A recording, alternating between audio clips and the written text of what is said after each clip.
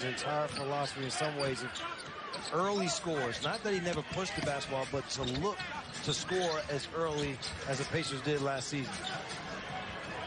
Top of the key. It's very physical. It's a well-established team. He said, we're going to learn some things tonight. He said, we've had a really good camp, camp, but every team in the league tells you they've had a really great camp, and they have. He said, but have three-point shooting going. That doesn't mean that your night is over. No. And that is the good thing for this Grizzlies team. Jaren with a rejection. But then the tip in. Clock down to seven for Bane. Lets it fly. Short. Kennard thought he had it, but ended up losing it. Walker back the other way. Out of the corner, Nesmith for three. Since some guy named Hakeem Olajuwon. Who? And now a two-on-one.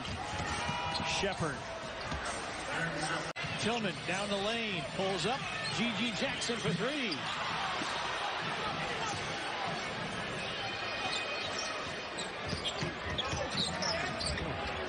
On the other end.